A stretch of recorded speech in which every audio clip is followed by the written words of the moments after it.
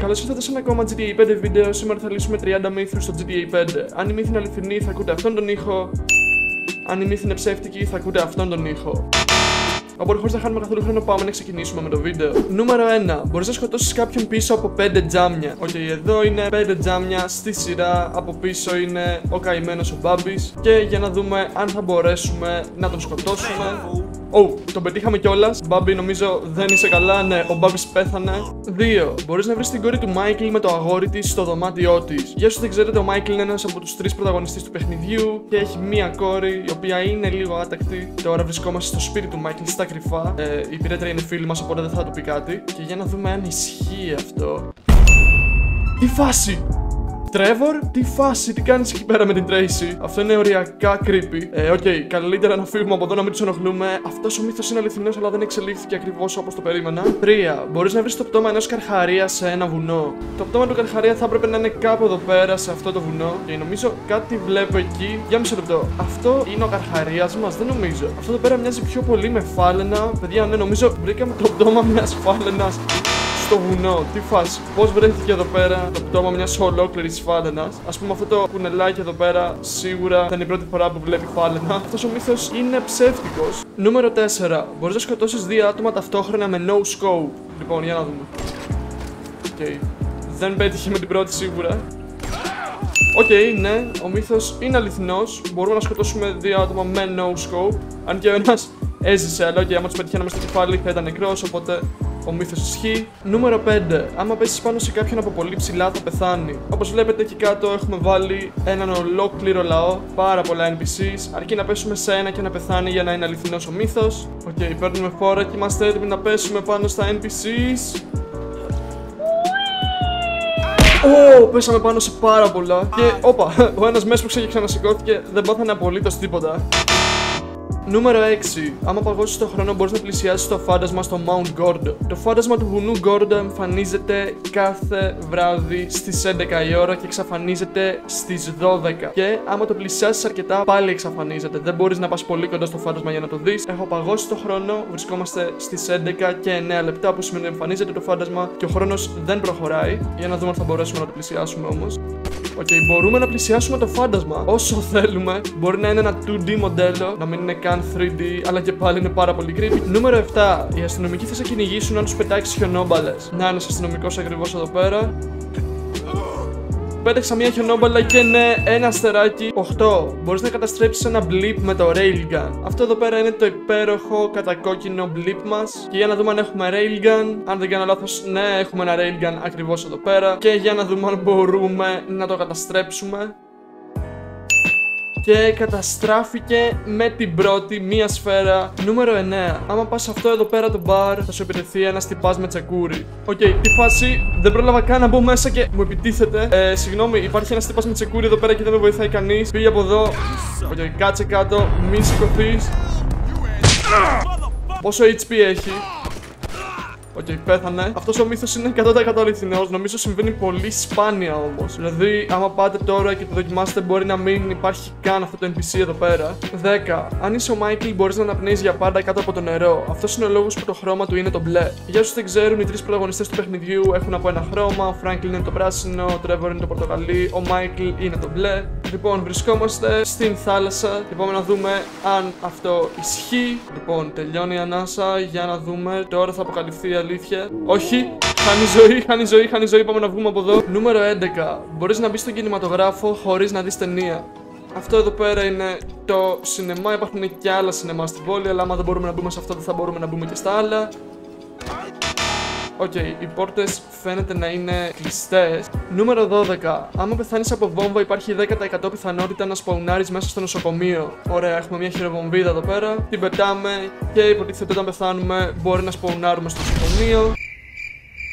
Μετά από πάρα πολλές προσπάθειες με σπόναρε μέσα στο νοσοκομείο, αλλά για κάποιο λόγο όλα είναι διελειμμένα εδώ πέρα. Κάποια στιγμή σα αφιερώσουμε ένα ολόκληρο βίντεο για να δούμε τι συνέβη εδώ. Μπορούμε να βγούμε έξω; Ναι, μπορούμε να βγούμε κανονικά έξω. 13. Στο North Yankton υπάρχει ένας τεράστιος σκύουρο.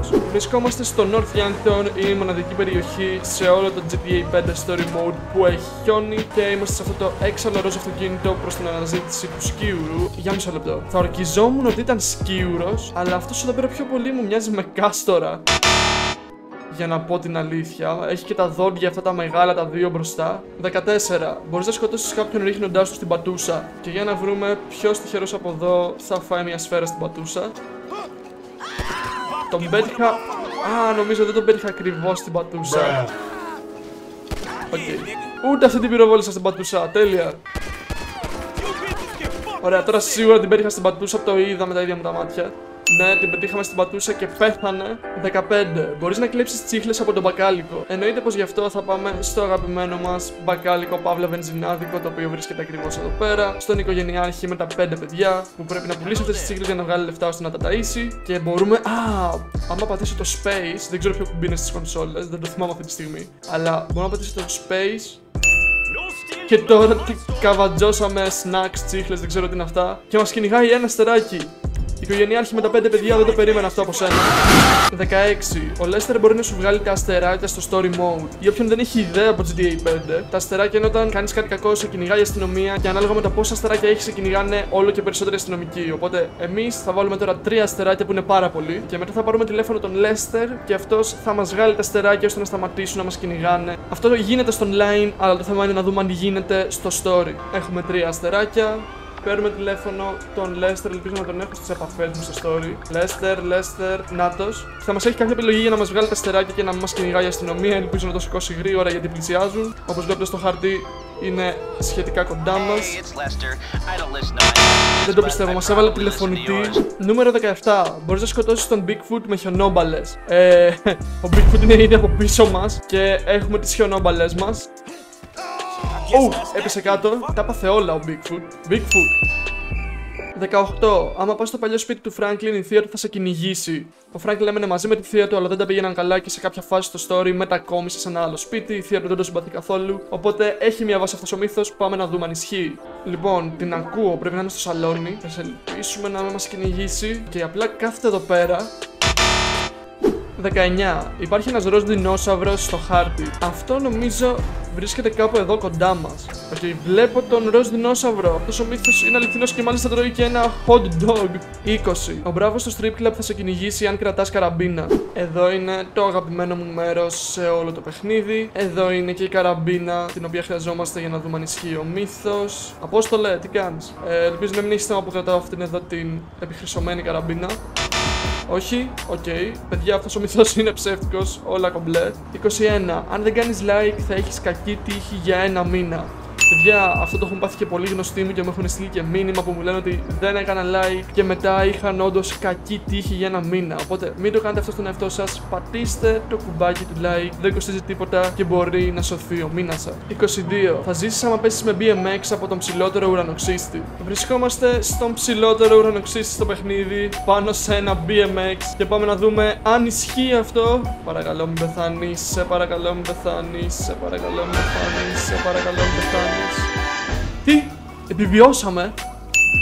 23. Άμα τρακάρεις ένα αμάξι με μεγάλη ταχύτητα θα ανατιναχτεί. Λοιπόν, βρισκόμαστε στο δικό μας αμάξι και πρέπει να τρακάρουμε ένα άλλο αμάξι τρέχοντας πάρα πολύ γρήγορα. Εννοείται πως ενεργοποιούμε το turbo. Και κοπανίσαμε πάνω σε ένα αμάξι, το στείλαμε όπου να είναι και παρόλα αυτά δεν έπαθε και πολλά πράγματα. 24. Στο Λοσάντος υπάρχει μια παιδική χαρά και βλέπω και κόσμο εδώ, αυτό είναι καλό σημάδι. Και ναι, είναι αληθινό. Το κακό είναι ότι δεν υπάρχουν παιδιά εδώ. Αν και θα είχε φάση να μπορούσαμε να τα βλέπουμε να παίζουν και ας μην μας αφήνει η Rockstar να τα σκοτώσουμε, ξέρω εγώ. 25. Μπορείς να κάνεις pet ένα τυχαίο σκυλί στο δρόμο. Λογικά θα μας βγάζει κάποιο κουμπί για να το χαϊδέψουμε όπως σε όλα τα καλά παιχνίδια. Ε, Rockstar. Όχι, δεν ισχύει αυτό. Δεν με αφήνει να χαϊδέψω το σκυλάκι. Αν πατήσω το ε, αριστερό κλικ. Όχι! Δεν έπρεπε να γίνει αυτό. 26. Άμα σκάσεις όλα τα λάστιχα σε ένα αμάξι, δεν θα παίρνει μπρος. Για να δούμε αν αυτό ισχύει. Σκάμε το ένα λάστιχο. Σκάμε και το άλλο από την αριστερή πλευρά. Και πάμε και στην δεξιά πλευρά. Πάει το τρίτο, πάει και το τέταρτο λάστιχο. Για να δούμε τώρα αν το αμάξι θα πάρει μπρος ή όχι. Το αμάξι παίρνει μπρος κανονικά. 27. Μπορείς να διαλύσεις έναν κάκτο με μία χιονόμπαλα. Ε, ναι, δεν μου φαίνεται να σπάει και πολύ ο κάκτο, δεν συγκινείται ιδιαίτερα. Νομίζω δεν του κάνουμε απολύτως τίποτα εκτός από το να τον βάφουμε λευκό. 28. Υπάρχει ένα νησί στο οποίο μπορείς να βρεις ένα ζόμπι. Βρισκόμαστε στο νησί και κάπου εδώ υποτίθεται ότι εμφανίζεται κάποιο ζόμπι, αλλά δεν βλέπω τίποτα. Oh, oh, το ζόμπι εμφανίστηκε. Παίζει να έμεινε από το Apocalypse των ζόμπι σε ένα από τα βίντεο που είχα φτιάξει πριν λίγες εβδομάδες. Για να δούμε αν μπορούμε να το σκοτώσουμε. Ένα clean headshot για να πεθάνει απευθείας. Λογικά δεν θα εμφανιστεί στο δικό σας game γιατί δεν είχε γίνει zombie apocalypse, σε μένα είχε γίνει. 29. Άμα ρίξει χιονόμπαλα στο σπίτι του Michael, θα σου στείλει το ίδιο μήνυμα που σου στέλνει άμα του ρίξεις RPG. Για όσους δεν ξέρετε, άμα πας στο σπίτι του Michael και ρίξεις RPG, θα σου στείλει ένα μήνυμα ή θα σε πάρει τηλέφωνο που να λέει Σταμάτα να ρίχνεις ρουκέτες στο σπίτι μου. Άμα ρίξουμε χιονόμπαλα, λέει ότι θα μας στείλει πάλι το ίδιο μήνυμα για να δούμε αν αυτό ισχύει. Είμαστε στο σπίτι του Μάικλ και πάμε να του πετάξουμε χιονόμπαλε για να δούμε αν θα μας στείλει κάποιο μήνυμα ή θα μας πάρει τηλέφωνο όπως γίνεται με το RPG. Ε, όχι, δεν νομίζω. Έχω ρίξει πάρα πολλές και δεν ισχύει. Και για όσους δεν ξέρουν, ας δείτε και το μήνυμα που σας στέλνει κανονικά. Νομίζω κάποιον σκότωσα εκεί μέσα. Ναι, και μας παίρνει τηλέφωνο. Αυτό είναι το μήνυμα που υποτίθεται θα έπρεπε να μας κάνει με τις χιονόμπαλες, αλλά δεν ισχύει. 30. Το RPG στο GTA 4 είναι πιο ρεαλιστικό από το RPG στο GTA 5. Το RPG στο GTA 5 ρίχνει έτσι. Πάει εντελώς ευθεία η ρουκέτα και απλά κάποια στιγμή σκάει, δεν μπορεί να φτάσει πάρα πάρα πολύ μακριά. Βρισκόμαστε στο GTA 4 για να δούμε αν ισχύει αυτό. Λοιπόν, ρίχνουμε με το RPG και όπως βλέπετε κάνει αυτές τις ε, μικρές σβούρες γύρω από τον εαυτό του που έτσι είναι στην πραγματικότητα οπότε όντως τα RPG στο GTA 4 είναι πιο ρεαλιστικά. Οπότε έφερα και το σημερινό βίντεο. Άμα σας άρεσε μην ξεχάσετε να κάνετε ένα like, μια εγγραφή στο κανάλι άμα ήδη δεν έχετε κάνει εγγραφή και τα λέμε την επόμενη φορά